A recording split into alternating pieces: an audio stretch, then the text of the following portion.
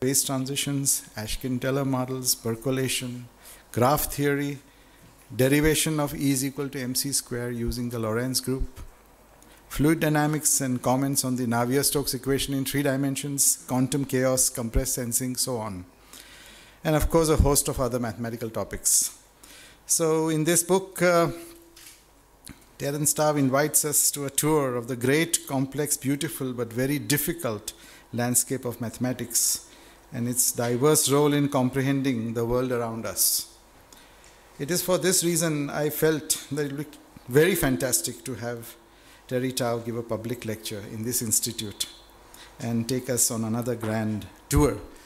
With these few words, I'd like to invite uh, Professor M.S. Raghunathan to say a few words and present a memento to Terry Tao and also a bouquet of flowers.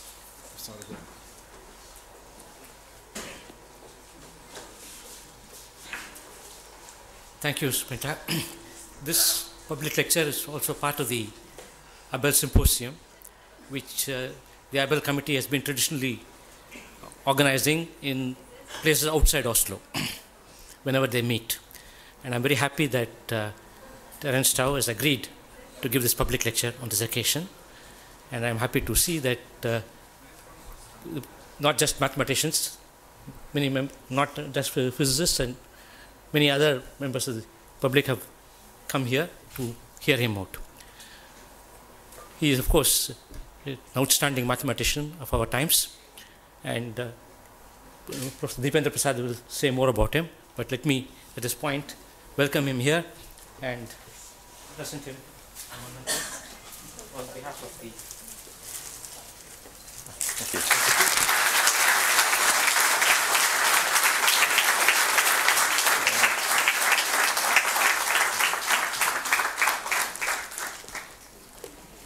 So I won't take any more of your time. Let me ask Professor Prasad to.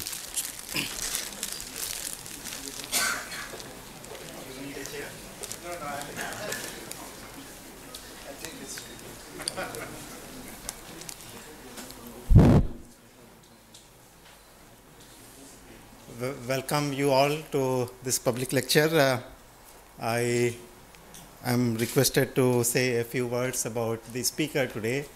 Perhaps uh, one could go on and on and talk about uh, so much besides mathematics uh, research that he has uh, been writing on his uh, web page, on his blogs.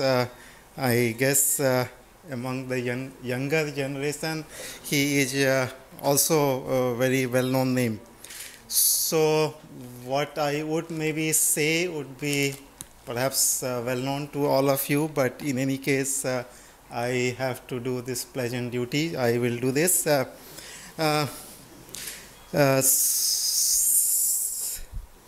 in fact, in the morning, somebody asked me, Who is Terence Tao? And I said, Just look for the youngest person in, the, in that gathering and uh, so, indeed, uh, Terence Tao is still a very young mathematician who has accomplished uh, more than anybody else that uh, I know about ever.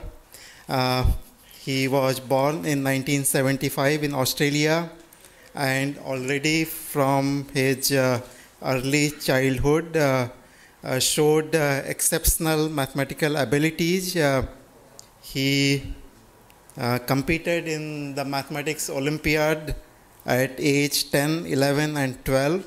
And uh, first time he got the bronze, second time the silver, and at age 12 he got the gold. And then, of course, he decided uh, uh, uh to not compete any further in such a program. I guess he had uh, proved himself. he in each of these uh, age groups uh, 10, 11, 12. He won uh, bronze, silver, and gold. He was the youngest, and perhaps he remains the youngest uh, in these uh, uh, programs, Olympiad programs. later on, he was a graduate student in Princeton in his teens, and I don't have the age when he completed his PhD, but in any case, uh, he became a professor at UCLA, a full professor at UCLA at age 24. Uh, yeah.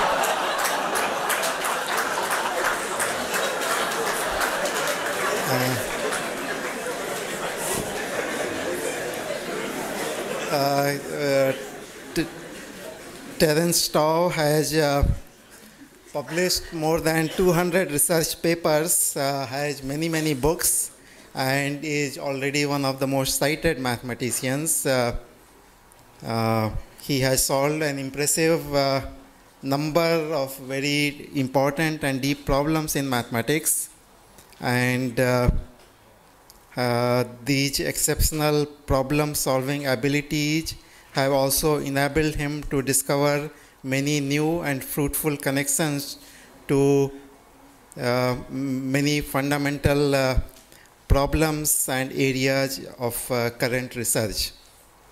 Uh, one of the easier to understand theorems is about uh, arithmetic progressions in primes, which perhaps we are going to hear today.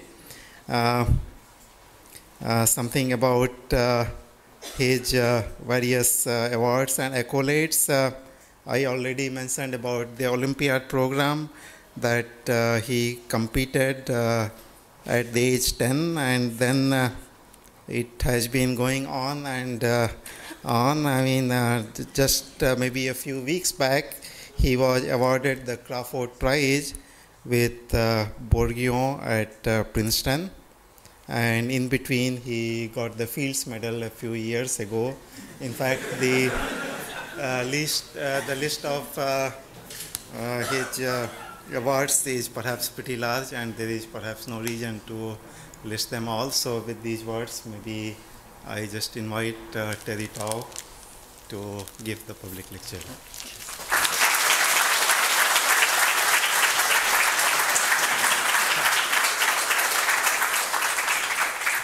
Well, thank you very much for the, the very kind introduction.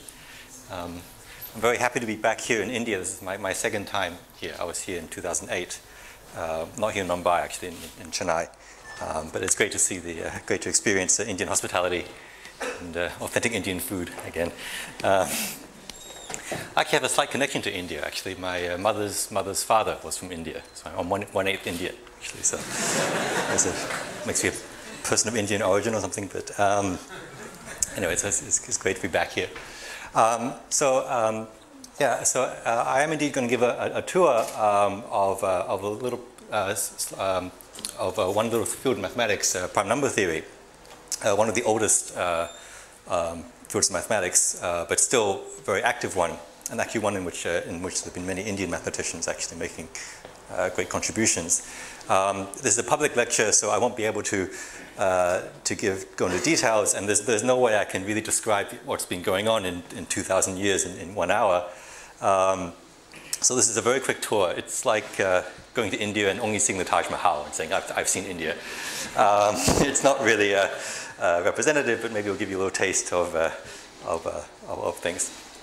So um, it's, and it's one of my favorite areas of mathematics, prime number theory. So just to remind you, what a prime number is, a prime number is any number greater than 1 uh, which can't be factored into two smaller numbers, so 2, 3, 5, 7. So, um, yeah, so over here we have the first few prime numbers, and they just go on and on and on and on. Uh, here's the biggest one that we know of so far, uh, explicitly, but, but uh, it just keeps going on after that. Um, so th these are the prime numbers. Um, so they've been studied uh, ever since basically um, um, mathematics became formalized. So um, at least since the ancient Greeks, and I think even before then, uh, the, uh, the, prime numbers were, were known. Um, but the, the, the Greeks uh, did prove two, the, the first two fundamental theorems about the prime numbers, um, which make them, which is uh, what them so important, actually. Um, so the first is the fundamental theorem of arithmetic, that every natural number uh, greater than one can be written as the product of primes. You can break up, so not every number is prime, but you can always break up a number as the product of primes in basically just one way, uh, other than rearrangement. So like um, the number 30 is 2 times 3 times 5. You can rearrange it as 2 times 5 times 3 and, and so forth. But other than rearranging, there's basically only one way to split up a number into primes. So that's the fundamental theorem of arithmetic, uh, and that first appears in print in the famous uh, book of Euclid. Um, and the other uh, basic theorem that the Greeks proved was Euclid's theorem that the, the primes just go on and on and on. There are infinitely many primes, that uh, you can never run out of prime numbers. So these are the first basic facts about the prime numbers. So the fundamental theorem um, tells us that the prime numbers play a very important role in number theory, that they're basically like the, the atomic elements the, uh, of, of, of the integers. So in chemistry, we know that every molecule is made up of atoms, hydrogen, carbon, oxygen, and so forth. And similarly, every um, natural number or every integer is made up of primes. Um, so we have a couple of numbers here, and they can split up into primes. By the way, it's because of this theorem um, that we don't consider 1 to be a prime number anymore. Uh, we used to until about 100 years ago, uh, 200 years ago now. Because, of course, 1 also can't be factored into smaller factors. But if you make 1 a prime, then uh, the fundamental theorem of, arithmetic doesn't work anymore because now you can factor a number of primes in, in, many different ways. Like 10 can be 2 times 5, or 2 times 5 times 1, 2 times 5 times 1 times 1. And we really do like the fundamental theorem of uh, arithmetic. So we, uh, we, we, dropped 1 as a prime about 150 years ago. Um, okay, so 1 is no longer prime. Um, so that's the fundamental the theorem of arithmetic. So the other theorem was Euclid's theorem. There's infinitely many primes. Um, and it, it, it, has a very short proof. You, uh, you, can learn it in high school. Um, and um, well, there's several ways to, to, to, uh, to formulate the proof, but, but my favorite way of stating it is uh, as, a, as, a, proof by contradiction, that uh, you, um, uh, you show that there's finitely, infinitely many primes by showing that there's not finitely many primes. And I want to show you the proof. Probably many of you have seen it already, but uh, it's, it's, it's, a beautiful little argument. Um, so if you want to prove that there's infinitely many primes, then su suppose not. Suppose that there are actually only finitely many primes in the world, that there's, there's a, a finite number of primes, let's say 2, 3, and 5, and then, and then it stops. There's no more, more primes after a certain point. So if you have only finitely many primes, you can multiply them all together. And so you can, you can, if the only primes in the world are 2, 3, and 5, you can multiply them together, you get 30. And then you add 1 to it this number, and you get another number. Let's call that capital P. So you take, uh, uh, so you can take all the primes in the world, multiply them together if there's only finitely many, and add one, and you get a new number, 31 in this case.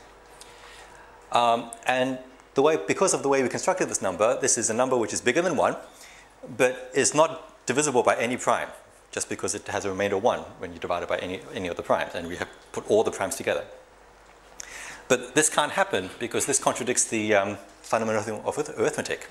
Okay, the first theorem that we said, so that every number must be able to be split into primes, and here's a number that can't be, and that's a contradiction. And so that tells you that there's infinitely many primes.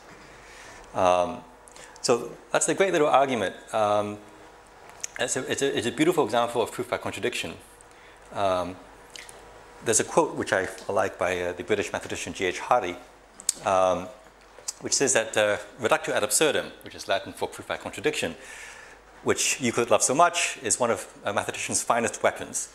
It is a finer gambit than any chess gambit. A chess player may offer the sacrifice of a pawn or even a piece, but a mathematician offers the entire game and still wins. So, so that is, uh, um, that is uh, the, uh, Euclid's theorem. So uh, we, we have the fundamental theorem, it tells us that every number can, at least in principle, be factored into primes. But um, the theorem doesn't tell us how to factor a number into primes, well, other than by sort of very painfully just checking uh, um, all the factors one by one. Um, and actually, um, if you take a very big number, like a number with, say, 200 digits, um, the fundamental theorem tells us, uh, yeah, this number can be factored into primes, but it doesn't tell us how. And in fact, nobody knows, uh, at least no one we know of, uh, knows how to factor primes uh, these, these, these, large numbers very, very rapidly. Um, and that's actually, uh, and it's actually very important that nobody knows because um, there are many key cryptographic algorithms that are used nowadays, such as the RSA algorithm, which it's used routinely now uh, in bank transactions in the internet and so forth, which are only secure because um, that uh, because very large numbers um, are unable to be factored into, into, into, into prime factors, as, at least as far as we know. Um, ironically, I prepared these slides before um, finding out a few weeks ago that people had discovered uh, some weaknesses in RSA, but not because of factoring, because of a, a different problem in random number generation. That's a, a separate issue. Um, um, anyway, so um, um, so actually, it's one of the few cases where um, the absence of knowledge is actually a, a very valuable fact. Okay. Um, in, a, in, a, similar fashion, Euclid's theorem tells us, again, in principle, that there's infinitely many primes out there. Um, so, you know, eventually you will find the millionth prime and the trillionth prime and, and so forth. But again, it doesn't tell us how to find them quickly. Um, I mean, you could just very slowly search through um, the, uh, the, numbers one at a time. But there's no quick recipe to, uh, to find large primes. Um, I should mention, though, that uh, actually since I'm in India, I mean, there, there is this, this, very lovely result uh, about 10 years ago of uh, Agrawal, Kayal, and Saxena, um, the Indian mathematicians, that uh, if, I, if, um, if you give me a number, a large number, I can tell whether it's prime or not very, very quickly. They have this, this lovely algorithm, the AKS algorithm.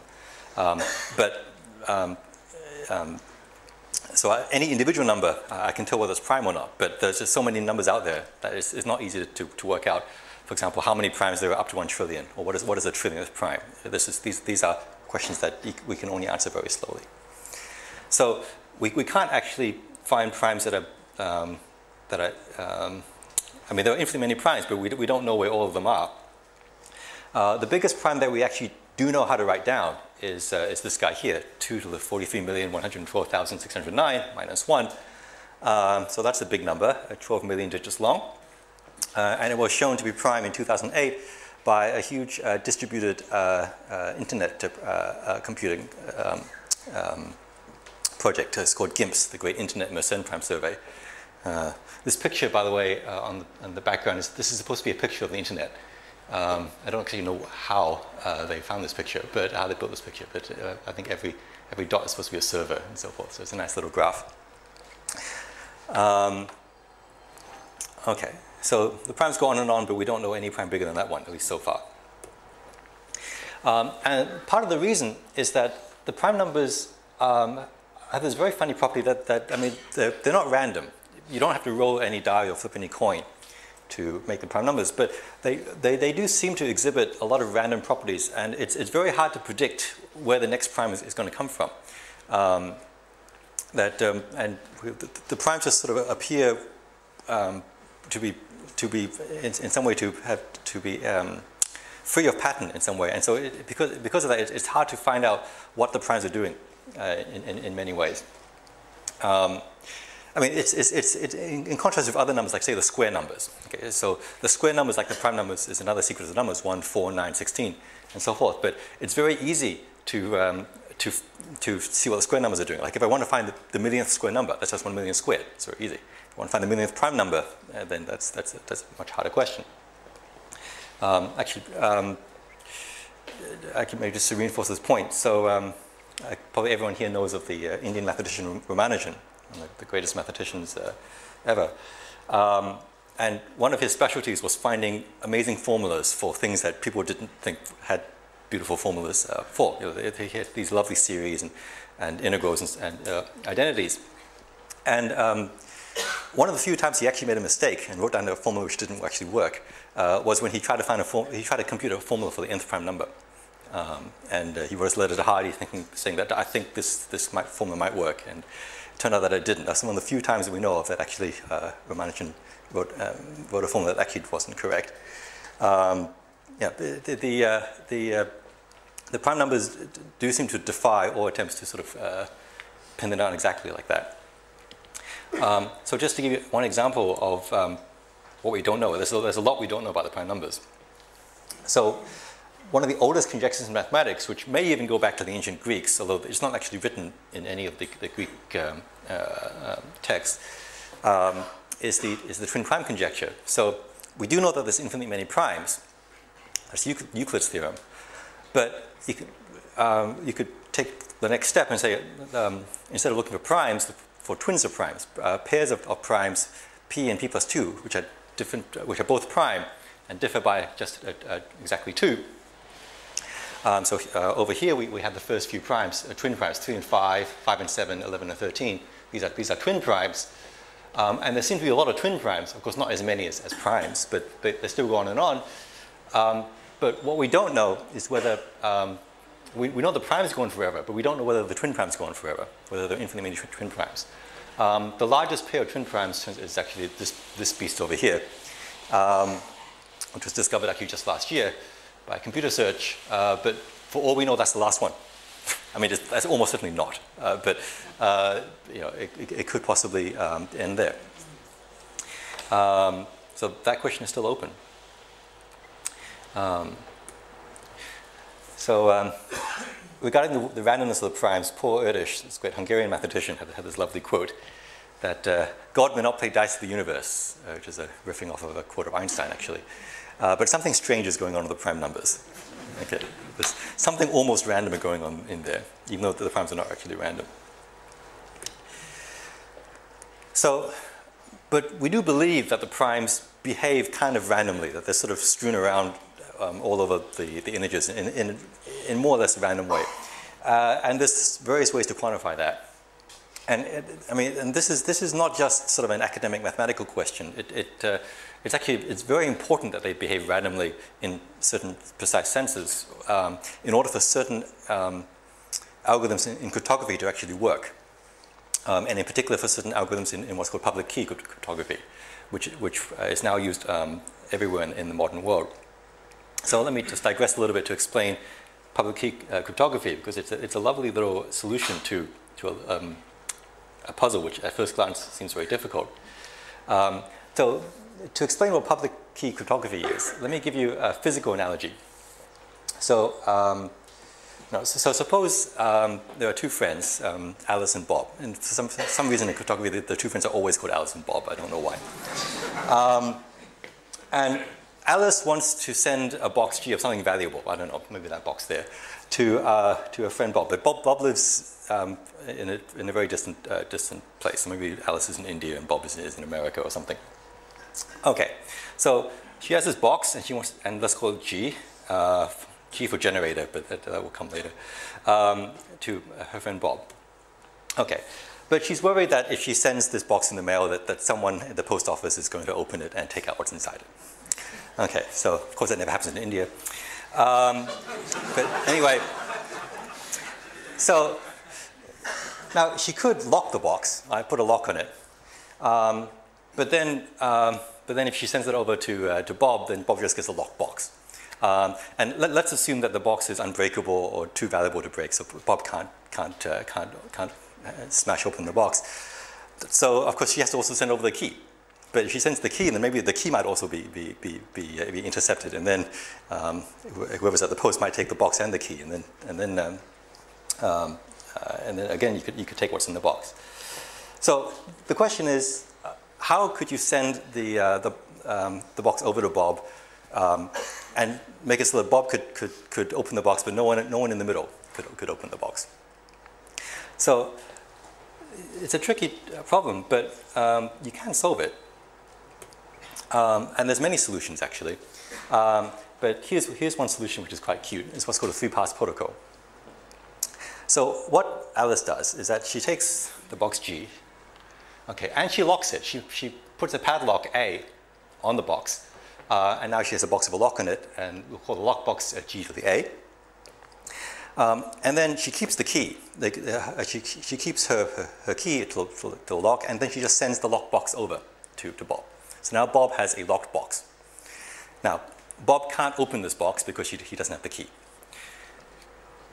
So what he does is that, well, he brings out his own lock and he puts another lock on the box. And now the box has two locks on it. Uh, so the, he has his own padlock called B. And then uh, now we have a, a doubly locked box, which is called G AB. And she has two, um, uh, uh, two locks on this box. And then he sends the doubly locked box back to Alice. Okay? So now Alice has a, has a box of two locks on it. Now, uh, and you know, she can't do anything about Bob's lock. Uh, she just has Bob's key.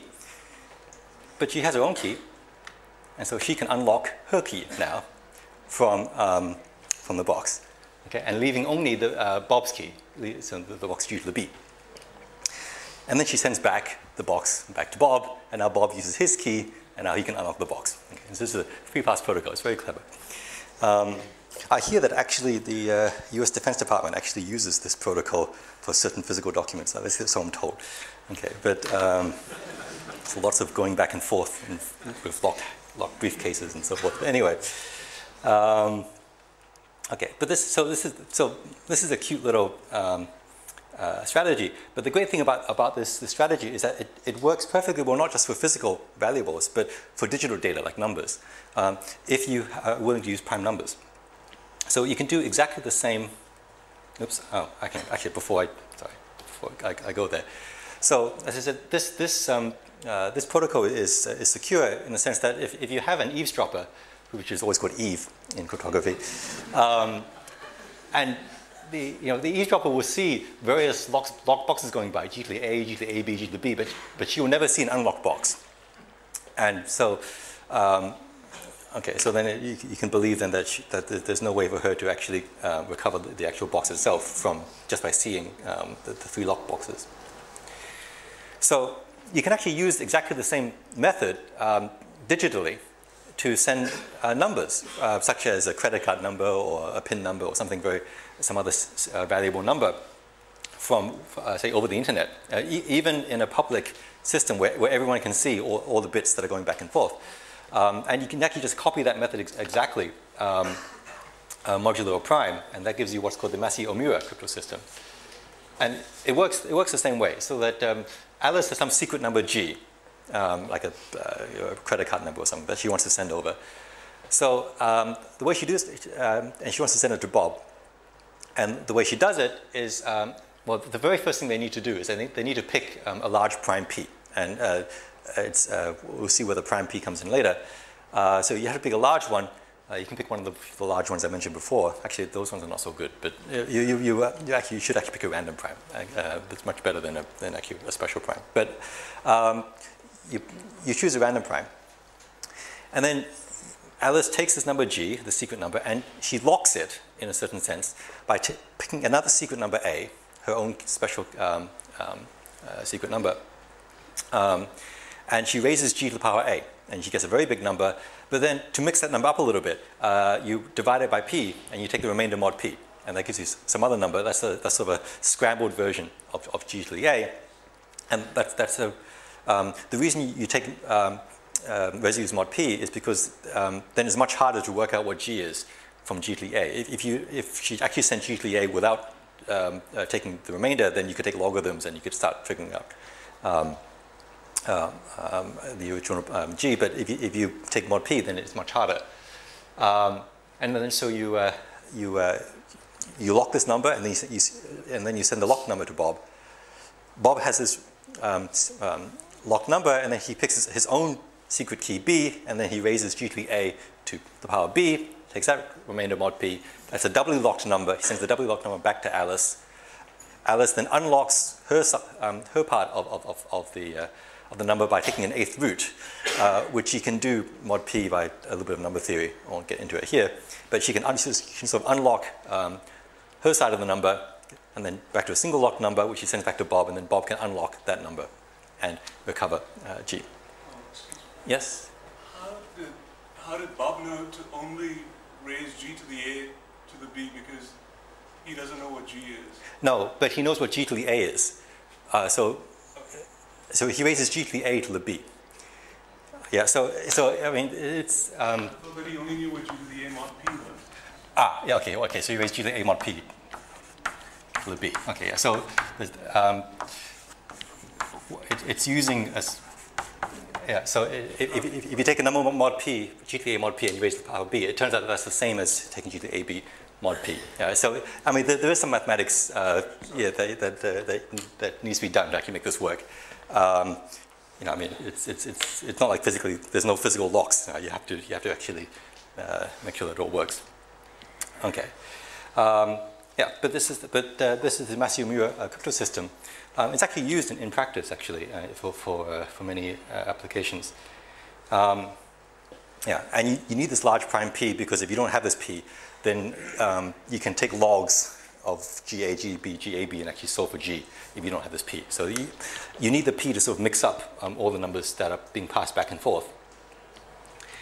Um, so uh, it's widely believed, um, well, not, well, it's not universally believed, but it's, it's widely believed that, uh, although, although not, uh, not actually proven, um, that this algorithm is actually secure against eavesdropping. That, that if you are, if, if an eavesdropper sees these three random numbers coming back and forth, um, that, uh, that there should not be able to be a way to, to very to quickly work out what, what, uh, uh, what, what G was uh, from all the data that's going back and forth.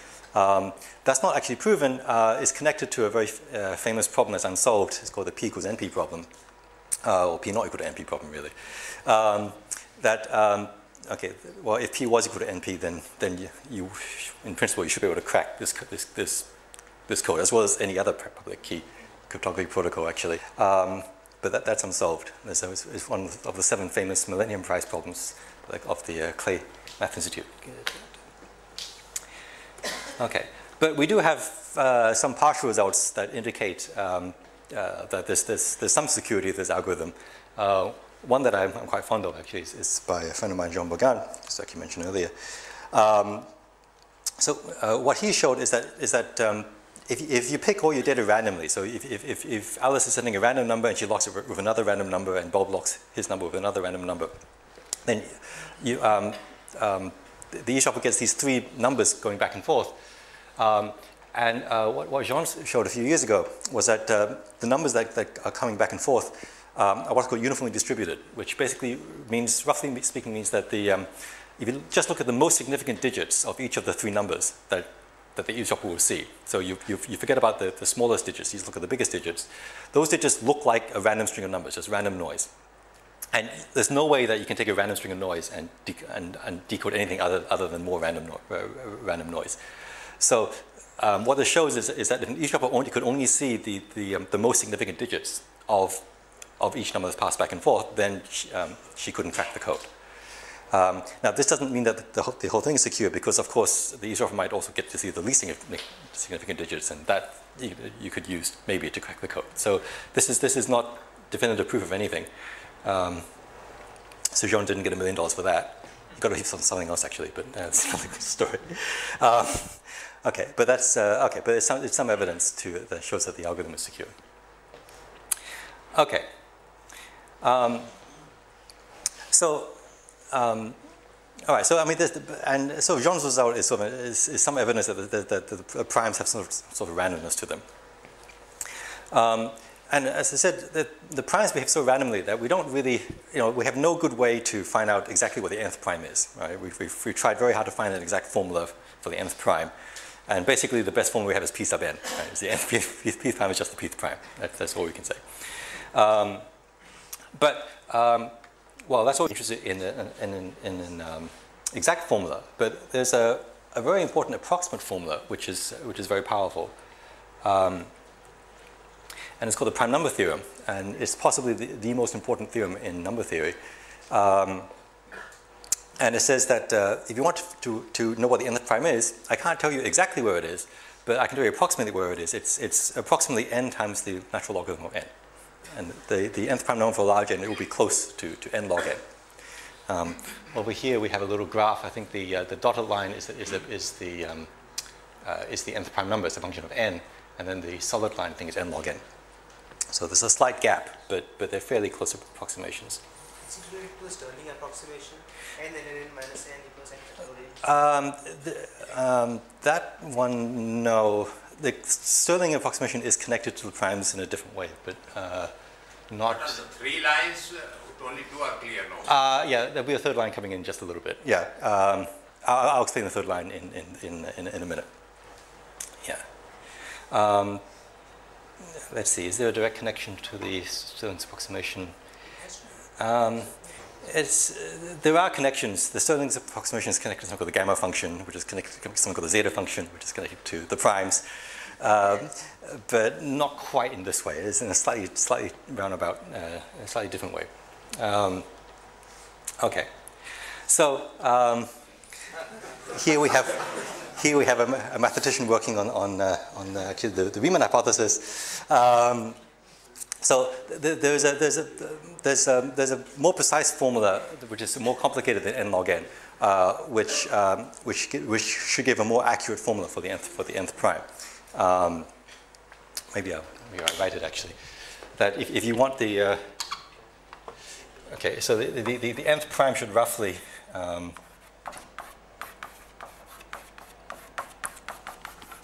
oops, be the solution to this, this funny integral equation here. Um, it's more complicated than n log n. So there's, there's a more precise formula for the, uh, the nth prime, or most, uh, which, um, which is actually the other line. So this is third line, which is the, this dashed line, which is very, very close to the dotted line. And that's, that, that's, that's, the, um, uh, that's the, the line which is predicted by this formula. It's, it's, still not exactly accurate, but it is very close. Like, you know, if you want to find, say, the, uh, the trillionth prime of this formula, that's accurate by six decimal places. Um, and the fact, so we believe, so this is this more accurate formula, which is, uh, which we believe in fact to be, to be extremely accurate in a certain, in a certain uh, precise sense, and, and that sense is known as, as, the, as the Riemann hypothesis. Um, and that's, that's another one of these, these famous uh, uh million dollar problems actually from the, uh, the uh, um, so, um, okay, so the prime number theorem is, uh, was, was, uh, is, uh, as I said, was one of the landmark achievements of, of, of number theory. Um, it was conjectured long ago by Gauss. Gauss actually like, wrote down by hand the first like 10,000 primes or something and conjectured the prime number theorem out of it. Um, but it was only proven uh, about 100 years ago. Um, it's got, it has an amazing proof. Um, so I showed you the proof of uh, Euclid's theorem. That's a proof from 2,000 years ago. So I, let me show you a more modern proof, a proof that uh, is only 100 years old um, and uh, uses much more sophisticated techniques. So it, uh, the, the, prime number theorem is proven, roughly speaking, as follows. So um, the first thing you need to do is you need to encode the primes um, as, as a function or, or as I wrote. So imagine like a, a, um, a sound wave which was silent um, except at times that were prime. So at time one, there's nothing. At time two, there's a sound times 3, sound 4, 5, 6, 7, 8, 9, 10, 11, 12, 13, so forth. Okay. Um, and so you, you, you, create, you create a sort of a sound wave that, that, um, uh, that goes on like this. Um, and then you, you, take this, this wave and you sort of listen to it. Um, and but listen to it by uh, taking uh, a transform, like a Fourier transform. Actually, Fourier transform is not quite the right thing to do. You take what's called Mellin transform, which is a close cousin of the Fourier transform. So you, you, you, uh, you listen down as it goes on, and you picking up sound. Um, and so the, there's, there's these slow oscillations in the primes, which uh, correspond to, to, various notes, which you can hear once you can, or see once you, once you take this transform. Um, and um, this pattern of notes, uh, sometimes called the music of the primes, although the, the, the more precise name is, is, the zeros of the Riemann zeta function. Um, music of the primes is, is more poetic. Although you can go on the internet, you can look for music of the primes, and, and you'll find these sound files where you, can actually listen to, to the primes. It doesn't actually look very, sound very musical, actually. It's just a, um, but um, anyway, you, you, um, you, you have these various notes which correspond to, to these various oscillations in the primes. Now, there are certain notes which, uh, because of their positioning, are sort of loud in a certain sense, which would create really huge oscillations in the, uh, the distribution of prime numbers so large that the prime number theorem would not actually work anymore, that would be false. And what you have to show is that these certain loud notes don't actually appear. In, um, that when you take the Fourier transform or Mellin transform of the primes, you don't get certain, um, um, uh, certain zeros in certain locations. Uh, and th this is the hard part um, of, of the proof.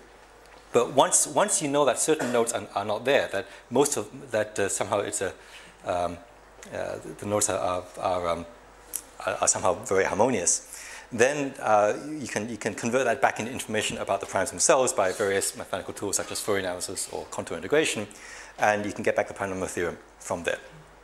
Okay, so uh, you have to use more sophisticated mathematics than what Euclid had, but uh, this, this is how the proof works. Um, okay, so the, um, the prime number theorem shows that the primes do have some structure to them. Not, I mean, they're not completely random in the sense that we have some uh, predictability to them, that we, we, know approximately how many primes there are up to uh, in, in, any given uh, region. We know roughly where the nth prime is and so forth. Uh, so, so at the macroscopic scale, at large scales, we know what the primes look like. Uh, but at small scales, uh, uh, they're quite random. So um, to illustrate this, this is a picture of the first, of all the prime numbers up, up to 20,000. So the way this works is that every dot, white or black, is, is, is, a, is number. And the black dots are, are primes, and the white dots are non-primes. So I don't know if you can see it, but at the very top left corner, there is a, a white dot. That's number one. And then there are these two black dots side by side. That's two and three. Um, and then there's a white dot, which is four, five, six, seven, and so forth. And then it just keeps going. Um, so you, you, have these black dots. Um, they start out sort of dense, and then they get slowly sparser and sparser as, um, as, as, as, you keep going to, to, bigger and bigger numbers. That corresponds to this n log n. This, this log n factor is making this, um, the primes get sparser, uh, more and more spread out. Now, if, if you look at this, this picture, on, on, the one hand, there's, there's some structure to it. Like you can start to see, you know, there's, there's lots of, um, of vertical lines which are completely free of primes. And that corresponds to the fact that every even number is not a prime other than 2. And there's some other, um, and then every so often you get a multiple of 6, and I think that's, that, that corresponds to, to these uh, big, uh, so uh, these, these, wider bands. Um, no, yeah, sorry, if, if a number, um, any number which is remainder of 2, 3, or 4 mod 6 is not prime other than 2 or 3. So that creates these very thick bands. And I think uh, that's, these, these diagonal lines are multiples of 5 and so on. So th there, are, there are some patterns you can see in, in, in, this picture. But on the other hand, you know, after a while, you, you just get these sort of random looking dots. There's, there's, there's, uh, it's sort of a mix of both, both pattern structure and, and random structure. Um, and it's slowly getting sparser and sparser as, as, as, as you keep going. Um, so, I mean, the primes do have some patterns to them. Um, so as I said, all the primes are odd, except for, for 2, of course. Um, all the primes sit next, uh, adjacent to a multiple of 6, uh, plus or minus 1, um, with two exceptions, 2 and 3. Uh, if you look at the last digit of a prime, it's always 1, 3, 7, or 9, with two exceptions again, 2 and 5. So you have all these local patterns, then that corresponds to all these stripes here, of all these prime-free regions here. So you've got some local structure, you've got some global structure coming from the prime number theorem and some, rel some relatives of the prime number theorem. And then you've got all this small-scale randomness. Um, and it turns out that if you combine all these three ingredients about the primes together, then you can start proving things about the primes. Uh, you can't prove everything you want about the, about the primes, but, but you can prove some stuff. Um, for instance, um, um, one, uh, one very one nice application of, of, uh, of uh, once you actually formalize and exploit all these things I just said, then you can prove what's called Vinogradov's theorem, um, which is the following. Uh, it, um, it's the best result known towards um, open conjecture of Goldbach. Um, so uh, Goldbach conjectured that every odd number bigger than 5 should be expressible as a sum of three, uh, three primes, like, a, like a 11 should be what, uh, 5 plus, plus 3 plus 3. Um, so that, that's not yet known. Um, uh, I mean, in fact, it's one of the few conjectures that actually a, has a popular novel uh, about it, actually. Um, but we have this theorem of Vinogradov that says that as long as your, uh, your number n is big enough, uh, any number which is large enough uh, and odd um, can be written as the sum of three primes. So we, we, we have proven Goldbach's conjecture for large enough n. So uh, how large is large? Uh, Vinogradov didn't actually say how large it was. Um, so it turns out that you can actually work out um, you can squeeze out a, a, bound from this proof eventually. Uh, the best bound known is that any number n which is larger than 10 to the 1346 uh, is the sum of three primes, any odd number. Um, on the other hand, uh, if you do a computer search, you can, uh, what's known is that any number less than 10 to the 20 uh, is, is also the sum of three odd primes. So there's only finitely many cases left to check, um, but unfortunately, the number of cases left to check is, is still uh, um, many orders of magnitude larger than what we can actually do by computers. So uh, this conjecture still remains open. Um, although last, uh, last month, though, um, I was able, oh, I, I, made a, uh, uh, I was able to prove a slightly, um, a slight variant of this conjecture. Um, so if you, if you, instead of uh, talking about, if you, instead of using three primes, if you're allowed to use up to five primes, uh, then this actually turns out to be much easier to, to, to, um, um, to work with this. And you can actually, you can actually modify Vinogradov's argument. And you show that every, every odd number, not just the large ones, uh, you can write as a sum of at, at most five primes. Um, so uh, six had, um, it was previously known that every even number can be written as using at most six primes. And so I could shave the 6 down to a 5. So just uh, two more to go, and then it can get 3. um, all right. Um, another nice theorem is uh, Chen's theorem. So I told you about the, the, the twin prime conjecture that, um, that, that uh, the, we believe there's infinitely many primes p, such that p plus 2 is also a prime. Uh, so that remains open, but we do have this nice partial result that, um, called Chen's theorem, that uh, we, you can find infinitely many primes p where p plus 2 is what's called almost a prime, an, an almost prime. It's either prime or the product of two primes. So it it may have some factors, but not very many. Just uh, so, um, so you, this is the closest we can, we've gotten to the twin prime conjecture. Uh, there's actually a, a real there's a, there's a very important reason why we can't get go beyond this and actually prove the, the twin prime conjecture. It's called the parity problem. But um, this is the best we can do. Um, it's a fairly sophisticated argument, but ultimately it's based on a very simple idea. It's um, uh, what's called sieve theory um, which is that one way to actually find the primes is to, um, is to, is to, is to um, start with all the numbers, all the integers here, and just start knocking out multiples of 2, which are these red lines here, multiples of 3, multiples of 5, which are these, these, these green lines and so forth. And pretty soon, uh, if, you, if you keep knocking out uh, multiples of small primes, all you have left um, will, be, uh, will, be, will be primes or maybe almost primes. Um, and, and, so this is the starting point for, for, this, for this theory. Okay, uh, here's my theorem of Ben Green, um, which is uh, about uh, progressions in the primes. So we can't find twins in the primes yet, um, but it turns out that there are these other patterns, arithmetic progressions in the primes, that, that we can actually find uh, for a special reason, actually, um, which actually uh, uh, Professor Alon mentioned briefly in his talk. But um, the, um, yeah, so an arithmetic progression, of course, is, is, is an equally spaced sequence of numbers, and so so these are sequences where, where, um, uh, where all the, uh, the, the, the, entries are prime. So 5, 11, 17, 23 is an arithmetic progression of primes of length 4. Um, and so you can keep finding um, progressions of primes, which are longer and longer, but, but uh, the, longer you want to make your progression, the harder it is to find these progressions, and they get bigger and bigger. So I've, I've listed here the first, um, like 5, 11, 17, 23, 29 is the first progression of primes of length 5, if you want progression of length 6, you've got to start at 7. And pretty soon you, you, you get pretty big. The, um, the longest progression that people actually found uh, explicitly is of length 26. Um, but we were able to show that, that, that this, this series does actually go on forever. That even though we, we can't actually write down explicitly where they are, we can I can tell you that, that there, are, there are progressions of primes of, of, uh, of any length whatsoever, uh, any finite length um, whatsoever. Um, so uh, the proof is, I will have to go a separate hour to explain how, how that proof works. But the, um, the, um, um, the, the, very rough idea is to take the primes and split them into two pieces. There's sort of a structured part which captures all the patterns that the primes have, such as being odd and being uh, to 3 and so forth. And you can sort of isolate all the structured part of the primes and, uh, and put that aside. And then what's left is sort of this, this random noise, or what's called pseudo-random noise. And you have this, this, this other part. And basically, the, roughly speaking, what you show is, is that both, uh, um, you don't really know which, how much of the primes goes into the structured part and how much goes in, into the random part. But what, what you show is that both parts generate somehow lots of arithmetic progressions. And so no, no, matter how the primes are distributed between structure and randomness, no matter what patterns do or do not exist in the primes, you can always find arithmetic progressions. And this is a special property of arithmetic progressions that um, uh, is not shared by most other, most other patterns. And so you, you could use that to, um, uh, to find patterns in the primes.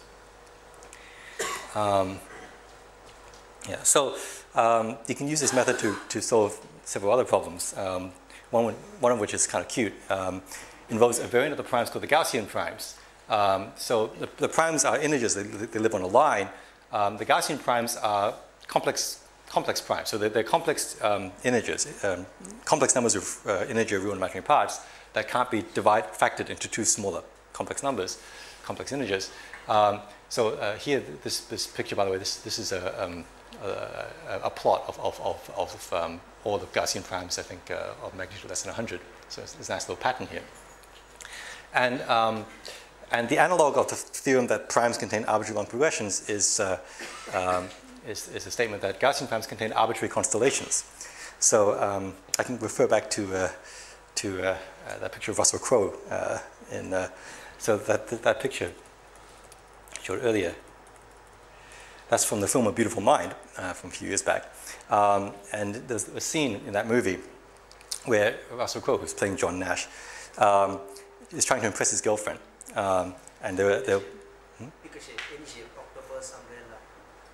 Yes. Okay. So yeah. So he's uh, uh, yeah. They're, they're watching the night sky. He, he asks his girlfriend to, to pick a shape, and yeah, he picks uh, I think an umbrella, and uh, and he looks around, and then he he points out like six or seven stars that, that, that makes an umbrella, and the girlfriend is impressed. Um, so. Um, so what I was able to prove was that you can always pull that off in the Gaussian primes if you want. That, um, Okay, that's somewhere out, out here, there, there, there's an umbrella or an octopus or whatever you like. Um, in fact, there's infinitely many of them. Um, so that's, uh, um, okay, I I'm kind of fond of that result just because of the interpretation.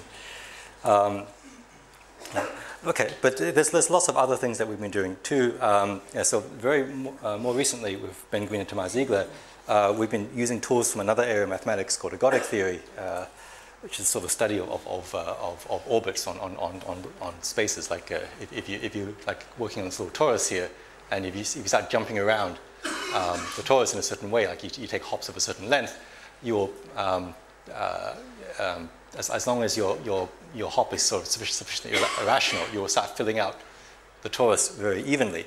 Um, and this is, so there's, there's all these um, results about equidistribution, which you can actually use to count more patterns in the primes. Um, and, uh, well, okay, so uh, the, the, precise thing we prove is, is, is, is a bit hard to, uh, to, uh, to explain, but this is, a, this is one typical result that, that, that, we were able to show using tools from ergodic theory, that um, if you want to count, say, how many um, uh, arithmetic progressions of length 4, say, there are in the primes, um, so our previous theorem said that there are lots and lots of, of, of, these, of these patterns, these progressions of length 4, but um, our previous theorem didn't give a, a, an exact count as to exactly how many there are.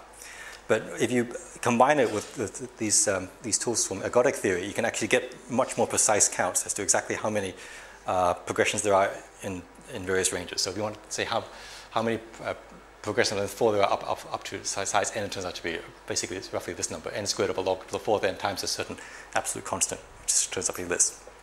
Um, and you can, you can start counting all these other things. So uh, we've been making more progress on, on, on prime number theory, but there's still many, many, many conjectures left to work on. Here's a couple that are just, uh, uh, just names here, but uh, yeah, it's, it's still a subject which, which has uh, which uh, many, many difficult questions. And uh, so uh, we'll still be studying this stuff. We've been working on this for 2,000 years. I think we'll still be working on, on, on, on the subject for 2,000 more.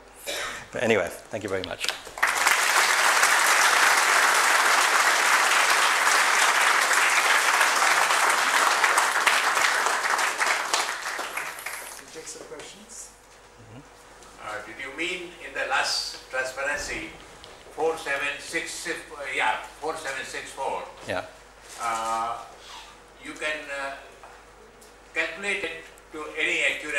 Yes. However, you do not know any abstract properties of the number. No, yeah, it's, it's, it's the product, it's an infinite product of various rational numbers, -huh. one for each prime. Um, it's, yeah, it's what's called a singular series. Uh, yeah, it's, it's, um, it's, I think it's just a, it's just a number. Uh, there's nothing terribly special about it. Yeah, it's, yeah, unfortunately.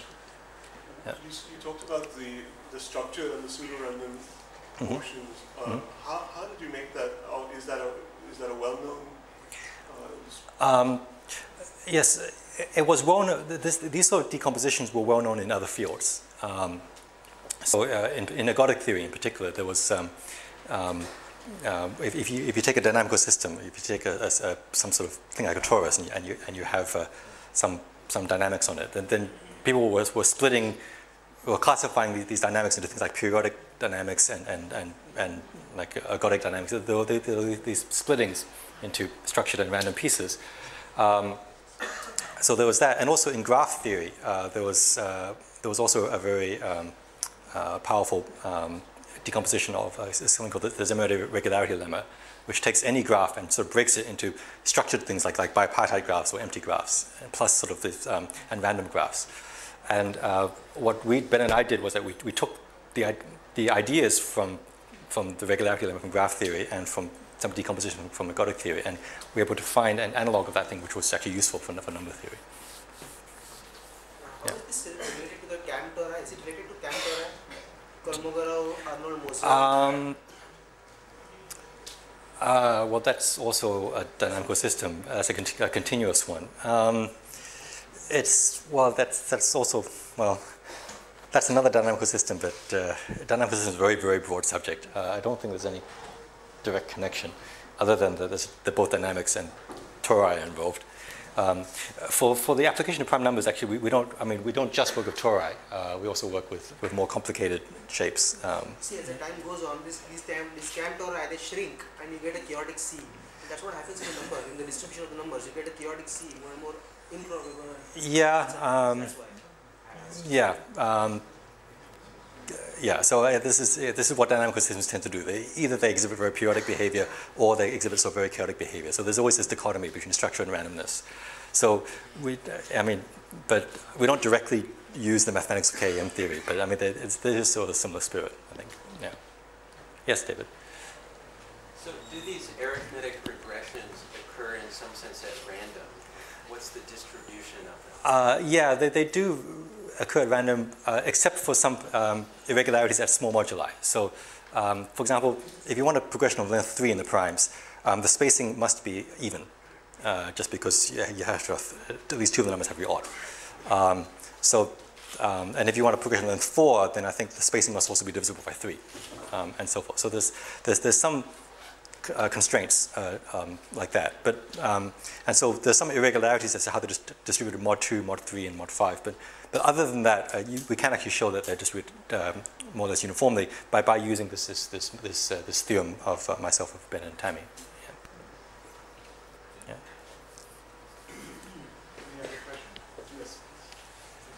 Um, With respect to your arithmetic progressions of primes, Mhm. uh, do you imagine that there exists a dynamical system in terms of which one may be able to construct a trace kind of formula where your periods would be like periodic orbits of certain lengths, the stability is given by something. I mean, this I'm saying because, you know, the proofs of your, your formula there, Mhm. down there, implies that there is a density of primes or twin primes Mhm. and there is a fluctuation formula which is like a trace formula. So would you imagine that all these things put together, uh, there is a trace kind of dynamical system? Um, yeah, that's, that's a great question. Yeah. So, um, okay. So on, on, on, on one level, okay. So, um, I mean, there's, there's sort of a trivial way in which the answer, the answer is yes. You can sort of cook up a dynamical system by taking a, a, like a binary string, which is one at the primes and, and zero not the primes, and just sort of shifting it to the left. Okay, that's sort of a boring way to, to create this. Yeah. You, you, what you want is a dynamical system which has nothing to do with the primes and which you can analyze by some other type of mathematics, but which has this correspondence. Um, so what you can do is that you can construct these, these probabilistic models of the primes, um, these, uh, what's called Cramér models, um, um, sort of random sets of, uh, like basically a random dynamical system which, which has the same statistics, which we can believe have the same statistics as the primes. Um, and that's something that you can study very explicitly, and that gives you all kinds of conjectures. Um, it- like you can predict how many twin primes there are up to n and so forth using these, these, uh, these probabilistic models, which you can think of as dynamical systems. But what we don't have is a way to connect those probabilistic models with the actual primes themselves. I mean, we can conjecture that they give the same, but that we don't have the, precise link. Yeah. So you mentioned that uh, every uh, odd integer is a sum of five primes? At most five primes, except for one. At most five. Yeah. Is this by subtracting two primes and going below 10 to the, yeah. Okay. You. You. you yeah, yes. Yeah. So. The, yeah. So it's sort of a cheat. Uh, the. the um, yeah. I mean, the, the, the, the way we, we prove that every odd number is a sum of five primes is that we already know that every number up to about 10 to the, uh, actually, we, we use 10 to the 14, actually. Uh, uh, 10 to the 18, I think, is the current record, but 10 to the 14 is enough for what I do. Um, that every number of up to, uh, every even number up to 10 to the 14 is sum of two primes. So you just need to write, to write a number sum of five primes, you can write a sum of three primes plus an even number less than 10 to the 14. Um, and that, that makes Vinogradov's method much easier. It, it, uh, uh, but yeah, yeah, that, that is the first trick. Yeah, you, you, you're on the ball. All right. All right.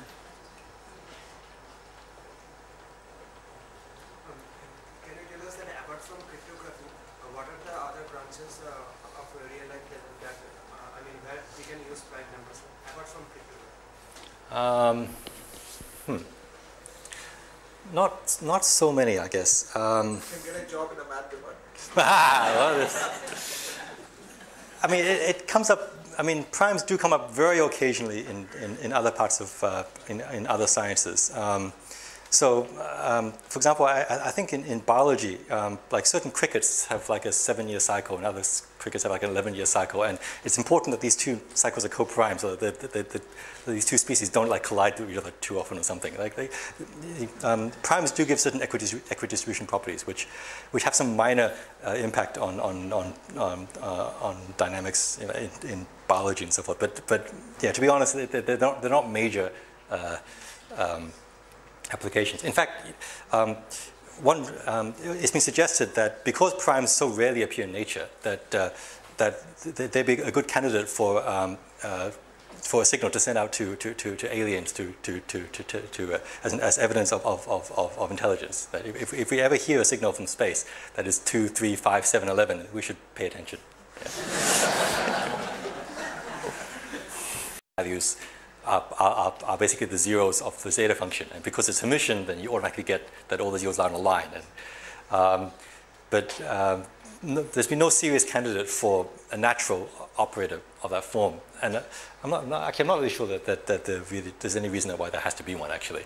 Um, yeah, uh, as you say, I mean, there, there is this connection that uh, energy levels of, of random operators have the same statistics as, uh, uh, seem to have the same statistics as, as the zeros of the zeta function.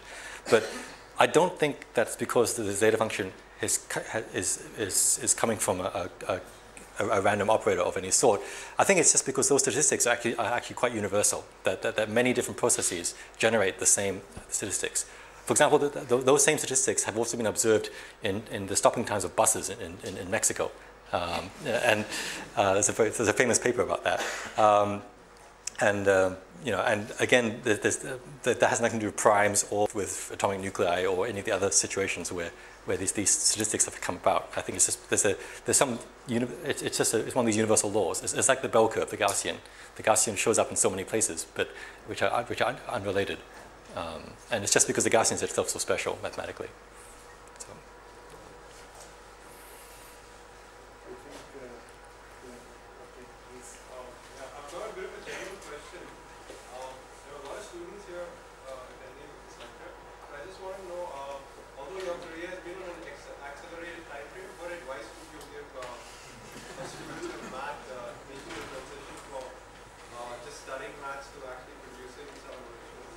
Okay.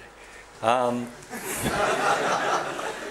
well, it's, it's, something that you just have to do. I think you go to grad school. I mean, it, it is um, it is an important transition you have to make. That you, you, you, spend you know half your you know you spend 16 years in, or so in school learning these to pass these tests and to, to memorize these things. And and uh, once you go to graduate school and you have to have to have to have to uh, have to actually produce your own research and, and, and think independently. Um, I mean, it, it, it, can be very uncomfortable to, uh, initially when you, to realize that no, no, no, one's giving you tests anymore, that you have to actually ask your own questions. And, um, well, I, I, mean, I mean, it's, it's something that, that every graduate student just has to, has to learn how to do. Um, I mean, but uh, I guess the one thing is it's just, to, I mean, as, as long as you're aware that, that, that life is not an endless series of tests and that, uh, that, that uh, at, at, some point, you know, you actually have to think for yourself, you know, I mean, that's a very, a very important first step. Okay, last question. that formula which was written for the n prime as n log n, does mm -hmm. it give any more information other than the fact that uh, random numbers are randomly distributed? Uh, I'll explain because one of the students he mentioned that uh, uh, that n log n has something order with n factorial. So if you take n factorial, then you have n numbers which are not prime because you get n factorial plus 1 plus 2 up to n, which are definitely not prime. Right. So when you go beyond that, then you will get some delta neighborhood in which you will get actually a prime number. So is that uh, so that n right. log n uh, basically just it seems like just shows that the random numbers are uh, sorry the prime numbers are randomly distributed to some extent. Right. I mean, it, it, tells you what the density of prime numbers are. So. Um, you know, it, it, it, does give you lots of intervals which are sort of guaranteed to contain primes, but, but it doesn't tell you precisely where in those intervals the primes are. Um, so, um, yeah, I mean, uh, um, yeah, the, the, the primes do, uh, you know, if you take the logarithm of the factorials, yeah, they, they, they do, they'll give you a sequence which is, which are close to the primes, but, but are not actually the primes themselves. Um, yeah, so I mean, it, it, does, it does give you a lot of information, a lot of large scale information, but it doesn't give you this, this small scale information. And you, you, need, you need other tools to understand that. Okay, let's uh, thank Devin.